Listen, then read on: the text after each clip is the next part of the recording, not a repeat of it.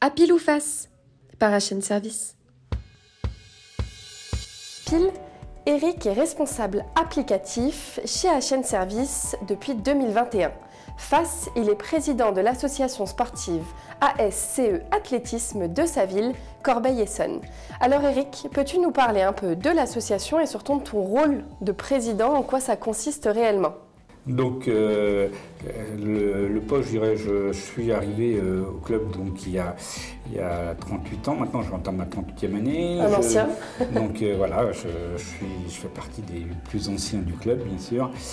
J'ai commencé bah, athlète, hein, puisque c'était, c'était le sport que je ressentais. On est arrivé tous, je suis un poste Jeux Olympiques 1984, hein, Los Angeles, donc on était bercé par Carl Lewis et consorts. Après, quand on commence à courir, on s'aperçoit qu'on est beaucoup moins Carl Lewis que prévu. Ensuite, euh, moi, je me suis dirigé sur des distances euh, de 400 mètres. Euh, donc, je tournais, j'ai été jusqu'au championnat d'Île-de-France. après, plus tard, je suis rentré en entreprise. Des, à la BNP, on a fait des championnats d'entreprise, donc j'ai fait des championnats d'Europe sur, sur, euh, sur 400 euh, mètres et 200 mètres. Donc en 93, j'ai fait euh, deuxième aux 200 mètres au championnat d'Europe d'entreprise. Et en 95, j'ai gagné les championnats à Saragosse d'entreprise sur 400 mètres. donc, et puis après, on a fait quelques championnats de France, dont en 97 euh, l'année euh, qui a suivi la, naissance de ma fille, où on a fait euh, troisième au relais, au relais 4x4 en Martinique. Donc c'est des petites choses qui sont bien sympathiques. Et puis qui marquent. qui marquent, voilà. On a une belle médaille. Et puis après, plusieurs. J'ai fait moult championnats de France d'entreprise avec quelques médailles. Et puis, mais des des gros, des gros challenges et, et des gros partages d'équipe. Donc c'est de belles expériences. Ensuite, au niveau de mon club, euh, donc euh, après euh, l'armée en 97-98, j'ai commencé à augmenter les distances. Et puis, bah, j'ai fait du 100, 200, 400, 800, du 1500, 3000.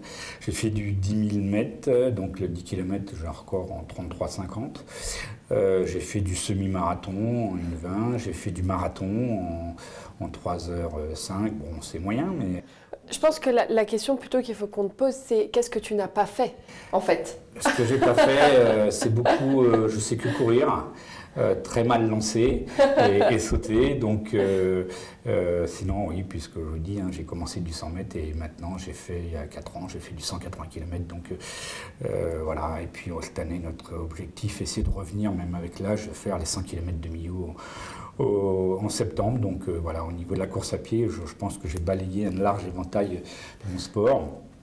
Mais 4-5 euh, ans après être rentré au club, je suis rentré au comité directeur du club, donc euh, membre du club, participer à la vie du club, voilà, pour, parce que le sport, on dit toujours que l'athlétisme c'est un sport individuel, c'est faux.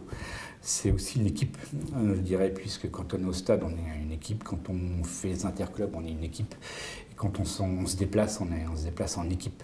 Donc euh, l'athlétisme, ce n'est pas qu'un sport individuel comme on regarde à la télé, c'est aussi, euh, je dirais, pour faire qu'un sport individuel, c'est que derrière, on a toute une équipe. Et, et donc euh, voilà, j'ai trouvé des dirigeants qui m'ont aidé à rentrer dans cette association. Donc j'ai voulu apporter ma petite contribution à un sport que je découvrir de plus en plus et que j'ai vu que ça a été ma passion maintenant toute ma vie.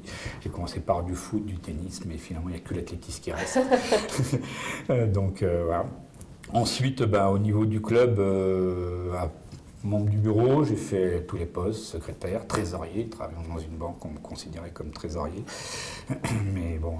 Et puis, bah, il y a une dizaine d'années, ben, il, a fallu, il a fallu reprendre les rênes du club puisqu'il manquait moins de monde. Donc, euh, bah, comme j'étais le plus expérimenté et, je connaissais tous les rouages, euh, donc bah, je fais dix ans que je suis président du club.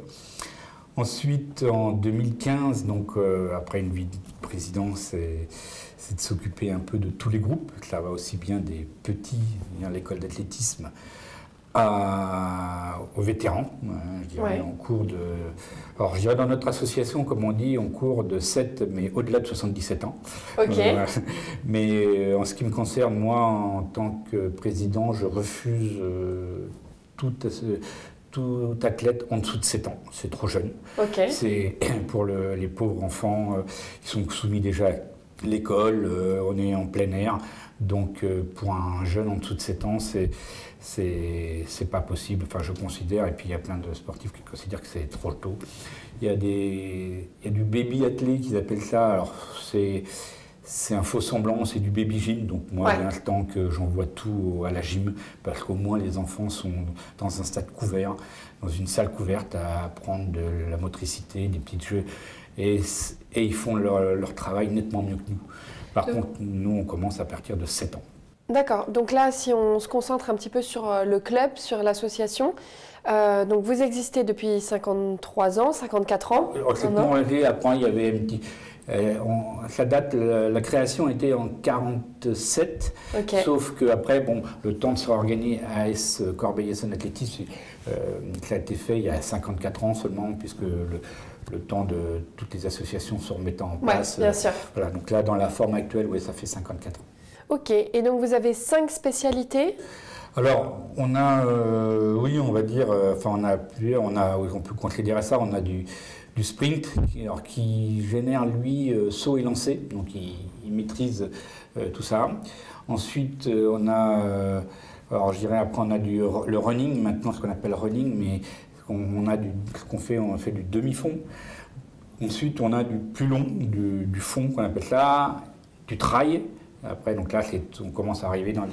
Donc le demi-fond et fond, c'est tout, beaucoup tout ce qui est course route, euh, jusqu'au marathon. Et au-delà, euh, on peut faire du 100 km sur route maintenant. Et à partir de tout ce qui est trail, c'est beaucoup. Après, bah, voilà, euh, c'est plein de, plein de distances. Il y en a un dans notre club, il a fait la diagonale du fou, de, ça s'appelle à la l'île de la Réunion. Donc voilà, il a fait aussi euh, l'île de Madère, donc le trail euh, ouvre pas mal de choses. Et euh, on développe de plus en plus maintenant la marche nordique. La marche nordique qui permet de, bah, je dirais, sport santé, puisque je dirais, on l'avait découvert, puisque c'est rentré dans le giron de l'athlétisme, la Fédération française d'athlétisme, il y a à peu près 10-12 ans. Et, puis euh, ça se développe de plus en plus, ça se développe encore plus parce qu'on a vu avec la pandémie, les gens, euh, ben, il faut qu'ils ressortent euh, puisqu'ils ont été confinés, hélas, mais sans faire de sport. Ce pas les une heure qu'on avait le droit qui permettaient de... C'était un peu de marche, mais pas assez. J'allais te, te poser la question, est-ce que la crise de la Covid-19 a eu un impact positif ou négatif sur, sur l'association Parce qu'on on a vu euh, de nombreuses personnes se découvrir euh, euh, une passion pour aller courir sur cette fameuse heure où on était libre. Là, on n'a jamais vu autant de joggeurs ou d'athlètes dans les rues. Donc voilà, est-ce que ça a eu un impact sur l'association? Sur l'heure de sortie, que plein de gens de l'association, plein de membres, on rigolait, on disait, quand on a su qu'au 12 mai, la première pandémie il y a eu des aménagements, mais la première euh, vrai euh, confinement, et quand on est sorti, on s'est tous dit, euh, tous ceux qui sont découverts joggeurs, il y en a plein, ils se sont arrêtés le 12 mai, puisque voilà, après ils avaient le droit de sortir, donc ils forçaient, c'est comme je dirais, je vais être vulgaire, il y en a qui ont, qui ont pris des animaux pour pouvoir les sortir. Donc, mais bon, c'est pas une critique, c'est que bah, on, avait besoin de, je dirais, de, de se libérer, euh, je dirais. Donc effectivement, on a eu du, été un effet négatif pour les jeunes, puisque évidemment, comme c'était très vite, ils ont trouvé que c'était les jeunes porteurs de la maladie. Donc fatalement, euh, bah, les parents, euh, faut comprendre, hein, sont au début, comme ça, on connaissait très mal, on commence à connaître mieux maintenant, les enfants peuvent sortir. Ils connaissaient mal, donc les enfants étaient entre guillemets privés euh, mm. d'activité. Euh, enfin, je dirais, nous, on n'avait pas la structure pour pouvoir les occuper en dehors. Euh, par contre, on a, je dirais, après le, dès l'instant que le, confinement finit, on a pu nous ressortir et donc en faisant attention évidemment, en faisant un minimum de plus de contact, un minimum d'espace. Et nous, l'espace, on l'avait, on a deux forêts à côté de chez nous, donc on a pu faire, des balades en forêt. Voilà. Et voilà, je dirais des entraînements, je dirais, par plusieurs groupes. différents, comme ça, ça a évité d'avoir un trop gros rassemblement et ça permettait aussi de, de pouvoir faire notre passion et notre sport sans trop être impacté. Ce qu'on a, le côté positif qu'il y a eu, c'est qu'on a pu justement les gens qui sont sortis marcher, euh, ben, les pauvres se sont ennuyés pendant leur heure. Là, avec la marche nordique, on leur a découvert, je dirais, une structure euh, encadrée, euh, avec des conseils, des entraîneurs qui sont formés. en, même temps, en même temps, ça leur a permis de, de voir du monde.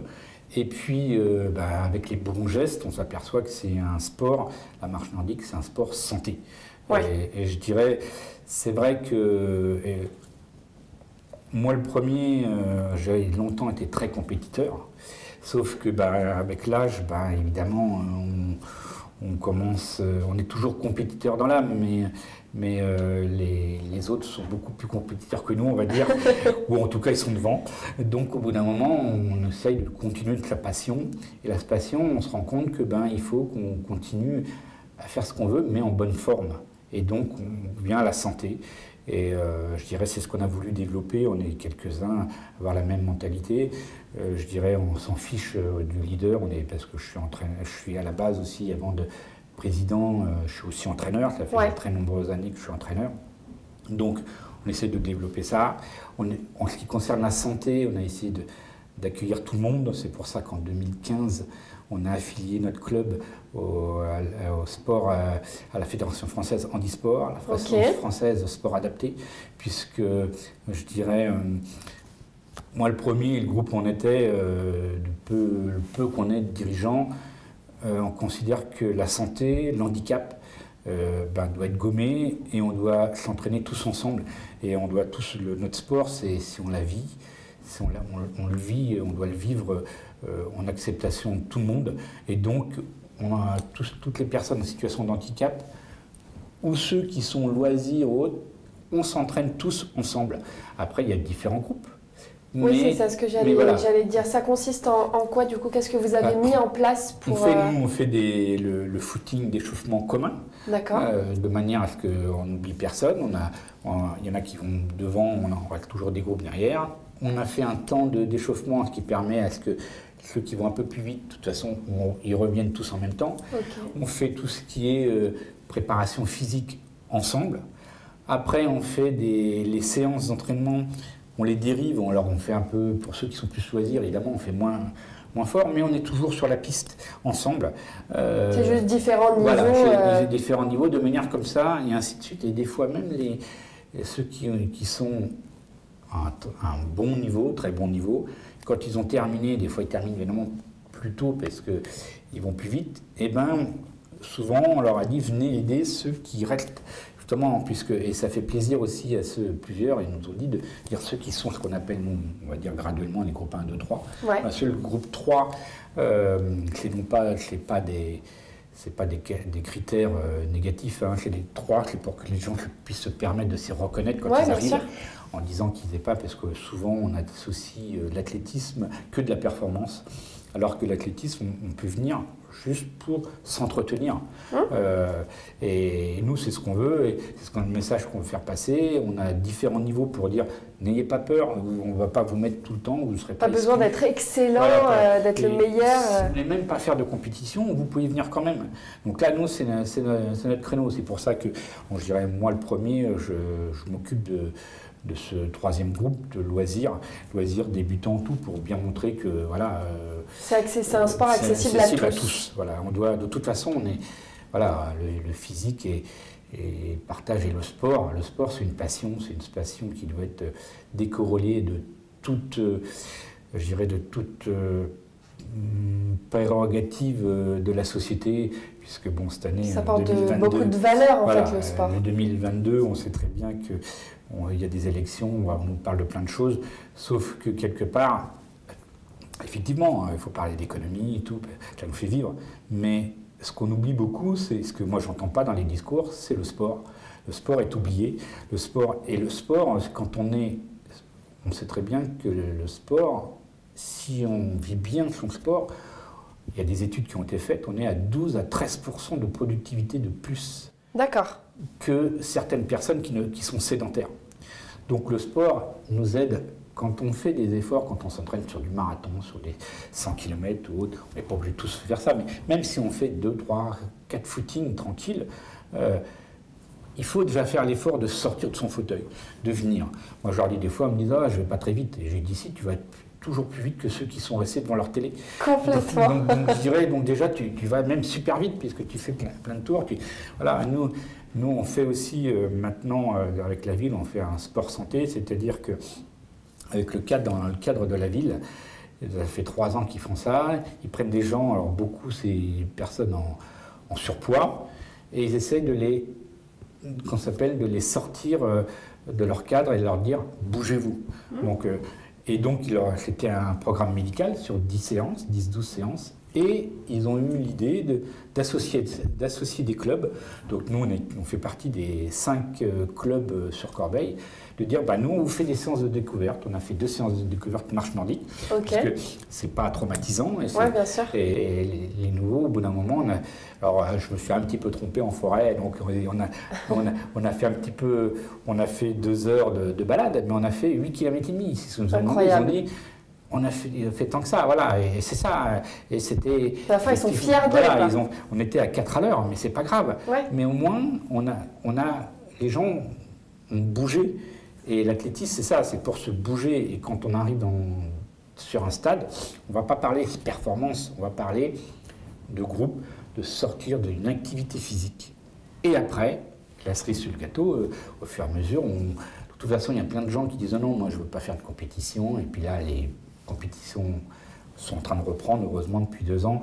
Et quand on fait une compétition le week-end, fatalement le mardi à l'entraînement, tout le monde en parle. Ouais. Et ceux qui veulent jamais en faire, ben, ils disent à force d'en parler une fois, deux fois, ils disent bah, je viendrai avec tenter. vous. Et puis voilà, moi, nous on a eu des, des, des femmes qui, euh, l'année dernière qui faisaient juste euh, 10 km, pas plus. Ouais. Et on leur a dit, on va vous faire découvrir tranquille. On vous a fait découvrir 20 km en entraînement. D'accord. On a pris, on va prendre longtemps, tout. Et ça leur a tellement plu qu'on a réussi à les emmener avec nous en compétition euh, sur l'ultramarin de Vannes. Elles ont fait un 36 km. Incroyable. Donc, donc alors qu'il y a, euh, on va dire, un an, un an et demi avant, euh, 5 km, c'était non, non, elles ne pouvaient pas faire plus que ça. Quoi. Et elles ont fait un 36 km et, et cette année, elles y retournent. C'est euh, fou. Et, et, tu parles comme quoi ça a un, un vrai impact sur, euh, sur ta santé euh, mentale et physique. Euh, Est-ce que le fait justement d'avoir une activité à côté de ton travail, eh ben, tu te rends compte que tu es plus efficace au travail, plus motivé, plus réactif? Ah bah absolument, puisqu'on parle du phénomène de se vider la tête. Euh, beaucoup, dans beaucoup de sociétés maintenant, on parle du phénomène de, de déconnexion. Euh, quand on fait du sport, il y a des fois, au club, ils le disent, Eric, tu as passé une mauvaise journée. Quand je commence à accélérer, à, à, il me tu vas un peu vite. Donc là, dis-toi, tu as passé une mauvaise journée. Ça permet d'évacuer.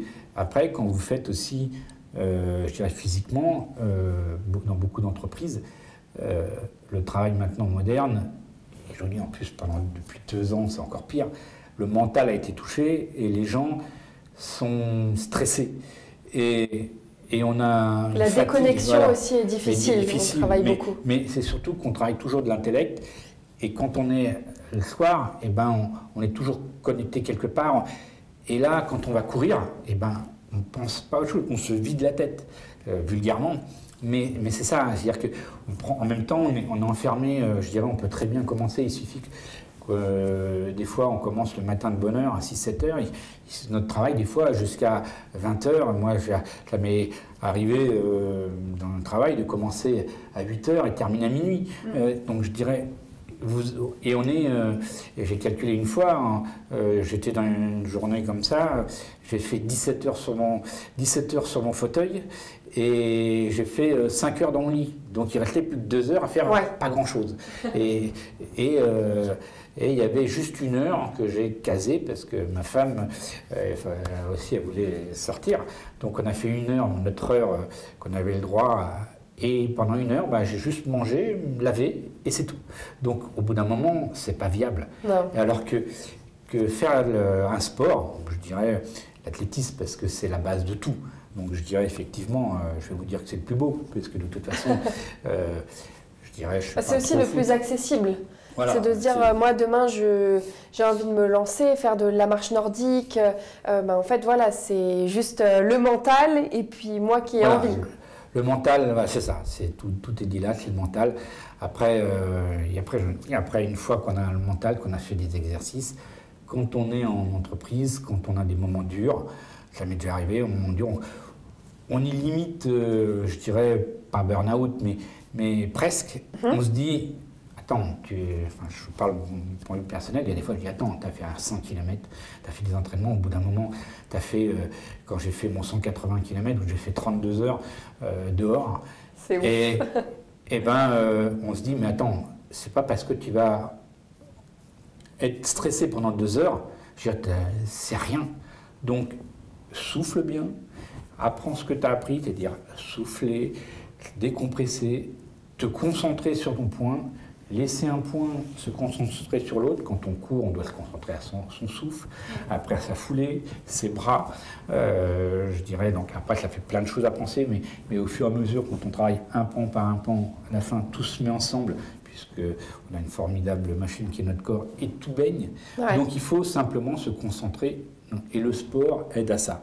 Je dirais, euh, tout sport, hein, je dirais, une activité physique, euh, ça aide. Et c'est pour ça que on considère que cette activité physique-là doit contribuer. C'est pour ça que toute personne, peu importe sa situation physique, handicap ou pas, je dirais lente ou pas, alors quand je dis lente, j'aime pas ça, parce que je dirais on va à son rythme. Euh, comme, comme je leur dis, comme j'ai dit la personne euh, encore ce week-end, elle me dit oh, on va pas vite. Je dis mais toi, par rapport à quelqu'un qui va vite, tu es capable de voir les fleurs sur le bas-côté, la personne ne voit pas. Et avec tout ce regard sur euh, le sport aujourd'hui, quel, est-ce que tu pourrais me donner deux ou trois valeurs que justement tout ce sport t'a apporté et fait, enfin, font de toi la personne que tu es aujourd'hui?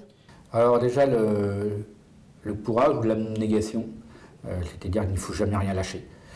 Euh, il faut le bien-être d'une équipe, comme je dis, c'est pas parce qu'on fait un sport individuel qui est considéré comme individuel, c'est le bonheur de se retrouver aussi. Je dirais, comme euh, en tant qu'entraîneur, plusieurs, plusieurs fois quand on, s'entraînait avec euh, des personnes, on a, vu, il, pleuvait, et donc il dit, oh là là, euh, un, mauvais temps. Ben, je dirais, mais t'es venu, mais je dis c'est de votre faute. Je dis, je dis, moi je viens parce que vous venez, mais si vous restez chez vous, je vais rester chez vous.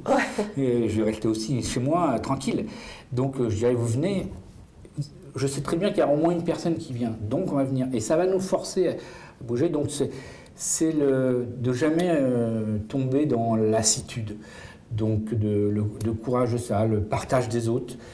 Et puis ben, après, des, ben, oui, après des, la santé, après les principes de santé, malgré tout, c'est hyper important. Il faut, et on n'en a pas confiance euh, quand on est plus jeune. Et quand on prend de l'âge, on se dit que des petites choses. Ah oui, ça, euh, je dirais la, fameuse phrase je récupérais mieux avant, c'est vrai. je dirais. Euh, après, euh, moi, je suis hélas un trop gros mangeur. c'est faire du sport, ça permet de de brûler des calories là où je vais en prendre de trop. Donc ça permet de maintenir aussi un physique, mais, mais voilà, ça permet de ne pas tomber dans, dans la sédentarité, puisque c'est un cercle vicieux. J'ai connu des personnes qui ne faisaient rien, n'avaient pas envie de, rien faire. Ah bah le rien attire le rien, enfin, la flemme attire la flemme. Et donc euh, le sport, euh, l'athlétisme, euh, puisque bah, c'est un petit peu exigeant, même si on a des blessures un petit peu, on doit les soigner, on doit aller avec, mais ça nous pousse toujours de l'avant. Ça, voilà, ça et je dis, il ne faut pas, faut pas raisonner que en compétition. Le principe de, de dire je sors, je, je me bouge, c'est voilà, c'est ce qu'il faut. Enfin, s'il y a des valeurs à retenir, c'est se bouger soi. Et je pense que si on bouge nous, le, le monde bouge aussi autour de nous. Et euh, les gens ont envie de nous suivre. Et c'est vrai que, euh, voilà, je vous dis, quand on, on fait euh, avec des personnes de handicap, on a senti cette valeur aussi des, gens qui qui venaient, qui se mélangeaient avec nous, des gens qui, personnes qui valident, eh ben, voyaient finalement après leur sport un peu différent parce qu'ils se sont bougés. Ils ont eu des personnes qui étaient soi-disant en difficulté, mais qui se battaient comme des diables. Et ils se sont dit, ben, on n'a plus trop, moins le droit de se plaindre. Et, et, on, et voilà, il y avait une solidarité. Et dans le sport, euh, voilà, après, on, va faire fi des, des, sports où ils se battent, hélas, parce qu'il y a des enjeux trop financiers derrière. Mais tous les sports, que, euh, bon, le sport populaire qui est le foot, où il y a des fois des mauvaises images rendues, mais c'est pas vrai. Ils font du sport à la base, c'est des équipes, c'est ensemble. Et voilà, ils, aiment à se rencontrer. Et, le sport, ça doit être ça. Et ça doit. Et ça, au point de vue santé, permet aussi de peut-être certaines pathologies de les avoir plus tard ou pas les avoir. Oui, c'est ça. Et, et, je dirais, je pense que bah, le sport santé, maintenant, il faut encore plus, depuis deux ans, le, être conscient, le développer. Je trouve que les autorités ne le développent pas assez. même ça fait peur dans les entreprises euh, de faire des, équipes euh, d'entreprises on a l'impression que ça fait peur un peu aussi, alors que c'est dommage, parce qu'au contraire, ça fait une certaine solidarité. Moi, j'ai fait, quand je au début, mon petit palmarès de sport d'entreprise, il y avait des personnes de tout niveau et, donc, ça fait... et là, on ne partageait pas le niveau hiérarchique, on partageait la passion. C'est ça, qui est, c'est ça qui est super beau, c'est de se dire qu'on ne parle pas de catégorie sociale, on ne parle pas de religion, on ne parle pas d'origine, ni même de... Rien. Rien, c'est juste euh, des gens passionnés qui font un sport commun. À Corbeil-Essonne, euh, on est hélas euh, parfois dans l'actualité parce qu'on a quelques quartiers chauds. D'accord. Donc, je ne parle pas des Tarterets, mon conseil la nacelle, c'est des quartiers où que ceux qui connaissent un peu Corbeil, hélas. Sauf que quand on est sur le stade, euh, je peux vous dire qu'une équipe d'interclub, euh, les gens qui se donnent le relais sont dans n'importe quel quartier. Et peu importe si on veut donner une rivalité euh, futile, là, le jour où ils sont dans l'interclub, quand ils ont le relais, ils vont pas dire un tel il est dans tel quartier. Il faut tout faire pour, pour pousser son, son, copain à aller plus vite et, de gagner. Euh, nous, on a été très forts en relais 4x100, 4x4. On a eu un champion de France euh, de espoir sur 400 mètres. Donc, euh, et, les relais, quand on arrivait en, en interclub, Corbeil était craint dans l'île de France parce qu'on avait des, des, athlètes. Ouais, et Pas pour l'attitude, mais pour justement la force. la force, tout. Ils étaient de différents quartiers. Et voilà, et, et l'avantage du sport, c'est que ça fédère. Quand on est sur un, stade, une activité physique, il y a beaucoup de barrières qui tombent, des, barrières néfastes qui tombent. Et, c'est ce qu'on devrait, ben, je dirais, au lieu de prôner euh, certaines choses qu'on entend dans la, dans la presse actuellement, c'est ce qu'on devrait d'abord dire faites du sport pour être ensemble, et je pense. Pour être ensemble, et aussi on parle souvent d'égalité des chances. Ah bah euh, le, sport, comme c'est pour euh, alors, certains sports, mais comme l'athlétisme, euh, un sport très accessible, ça donne l'égalité à tout le monde. Qu'on parle de catégorie sociale, mais qu'on parle aussi de, handicap, en tout cas de, de validité. Donc, donc c'est top. Mais Eric, juste avant qu'on se quitte, j'aimerais que tu nous motives et que tu nous dises pourquoi on, devrait euh, s'engager. Donc on l'a vu d'un point de vue sportif, pourquoi faire du sport, euh, pour la santé euh, physique et mentale. Mais voilà, d'un point de vue engagement, toi qui t'es engagé jeune et qui as fait tous les postes. Bah, l'engagement, c'est le partage. Quand on, s'engage dans, dans une association, le retour, le retour des, des, sociétaires, malgré tout, ils sont, quand on fait le, travail, évidemment, il y en a plein qui disent oh, bah, Je ne ferai pas ce que tu fais. Certes, mais au moins, beaucoup sont conscients. Euh, quand on organise, nous, on, a, on organise euh, une course pédestre au mois de, euh, des premiers week-ends d'octobre à chaque fois, c'est encore essonne donc c'est un 10 km euh, classé, qualificatif au championnat de France. On a 70 bénévoles. Euh, on, va, on est en train de développer en partenariat avec la responsable des sports de Saint-Pierre-du-Péret, qui est la ville d'à côté. On va le 15 mai, on, on crée une nouvelle épreuve de marche nordique, une chronométrée et une, loisir, une découverte.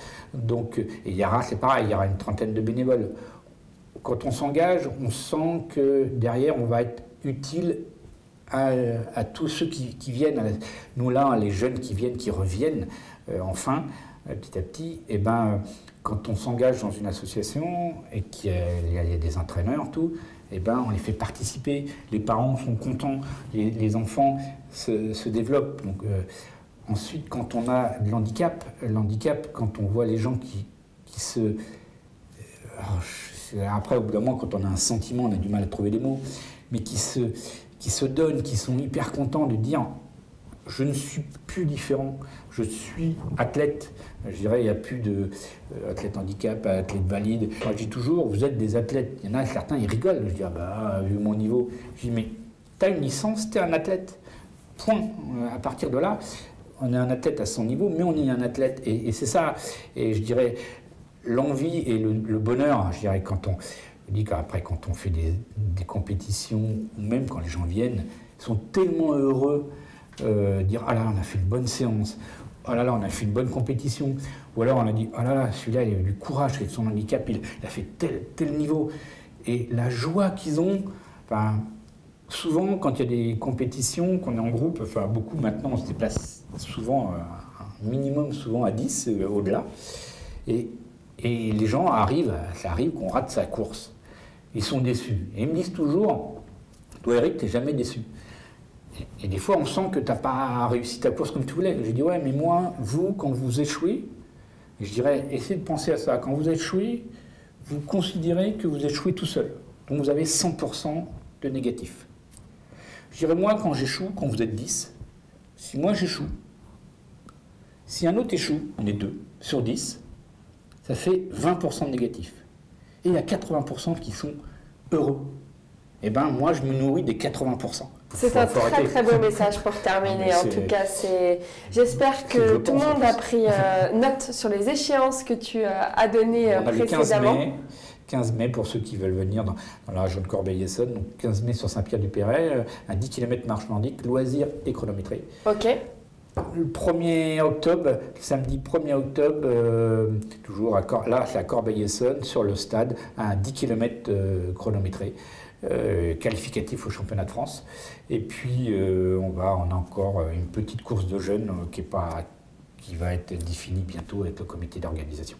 Super, bah, de toute façon, on mettra le, lien de, du site internet en description, comme ça, vous pourrez aller voir. Merci en tout cas, Eric, d'avoir fait le déplacement et surtout nous avoir partagé tes valeurs et ta passion.